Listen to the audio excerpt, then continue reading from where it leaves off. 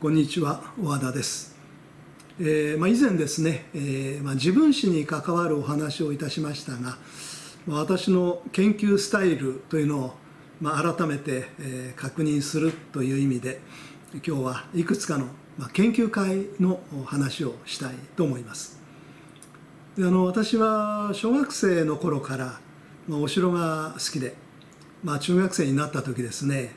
部活でまあ、歴史部みたいのがあれば入ろうというふうに思っていました。でところが、いろいろ部の勧誘のポスターが貼られていたんですけれども歴史部がないんですよね。でどうしたのかなと思って、まあ、職員室に行って歴史の先生に「歴史部はないんですか?」って聞いたんですよね、まあ、そしたらその時女の先生でしたけれどもあっさりと「えないわよ」だけど作ってみたらと言われましてね。うん、まあ、その気になりまして周りにちょっと声をかけたら、まあ、歴史好きの子が、3人ほど集まりまして、まあ、それで、えー、歴史部というのを立ち上げました。あの中学校のすぐそばがあの赤坂見附があったところだったもんですからあの、まあ、いわゆる江戸城の36見附というものを、まあ、調べようということを相談しましてえまず赤坂見附を皮切りに、え四谷見附市ヶ谷見附、まあ、そういったところを調査して歩いて、えその年の文化祭でもですね発表したりしたという経験があります。で高校に入ってもですねやはり同じなんです、え歴史部というものがなくて、まあ、何人かに声をかけたらやっぱり歴史好きな友達がいましてねえー、初めはですね、まあ、すでにあった社会部という部の、えー、下に中に歴史班という形で、まあ、仲間に入れてもらいまして翌年から、まあ、歴史部に昇格しました。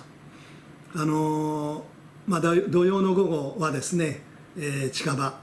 そして、えー、日曜日には例えば、まあ、川越であるとか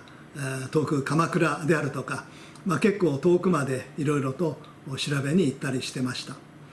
まあ、その時の仲間とは今でもまあ一緒に旅行に行ったり飲んだりしております。で高3の終わり、まあ、大学の合格発表があった直後その頃はですねまだ任意団体だったんですけれども日本城郭協会というのがありましてそこに入会手続きをすぐ取りました。で今はこれが公益財団法人日本城郭協会となっておりまして、え私が、ま理事長を務めております。でこの、まあ、日本城郭協会では、えー、定石のですね見学会がありまして、まあ、そこに、まあ、年配者に混じってですね大学生高校生、まあ、中には中学生もいましてね、えー、いつとはなしに、まあ、学生だけで集まらないかという、まあ、そういう話になりましてえ会のその頃の代表だった井上宗和さんの承認を得て、まあ、日本城郭協会学生研究会というのを立ち上げました、まあ、この辺りのことは私が以前出したこの「戦国史を歩んだ道」という本がありましてね、まあ、その辺りにもちょっと詳しく書いてあるんでもし、え関心ある方はちょっとお読みいただければと思います。で、まあ、この学生研究会でまあ、戦国の、まあ、山城の面白さを、まあ、見つけた感じなんですね。そして、まあ、私にとって印象深いのは、まあ、大学院時代あの昭和44年1969年です。あのご法上司研究会に、えー、参加したということです、まあ、この会は、えー、東京大学周辺産所の教授、杉山博さんそれから、まあ、明治大学教授の萩原達夫さんそれに、まあ、私の大学院の1年先輩だった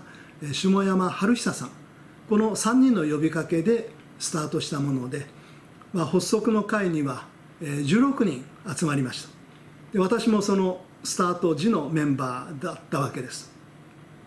えーまあ、下山さんが初代事務局長で、まあ、すぐ私が2代目事務局長となりまして、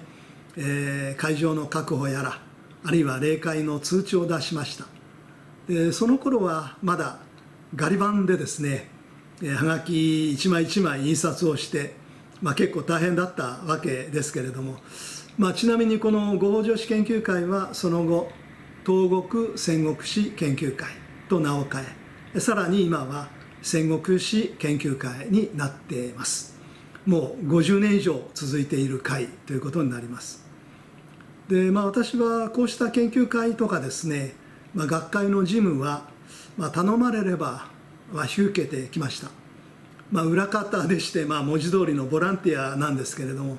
まあ、こうした会における人とのつながりというのは、まあ、大事だなというふうに思っております。まあ、研究会のつながりで、まあ、実は今の私があるというようなところもありますので、まあ、そのあたりをちょっと話をしたいと思います。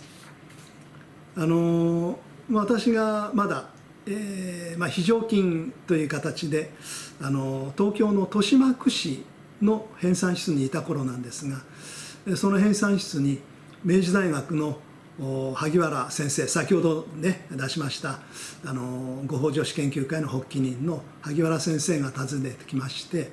今静岡大学で教員を募集しているよというふうに、まあ、声をかけてくださったんですね。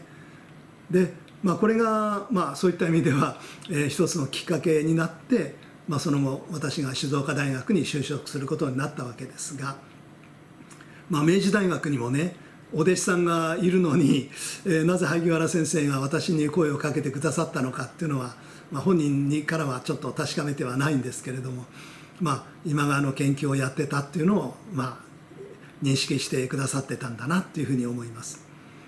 で、まあ、静岡へ来てからはすぐ、えー、今川氏研究会という会を立ち上げました。で、まあ、私が、まあ、代表兼事務局長としてまあ、10年ほど続けました。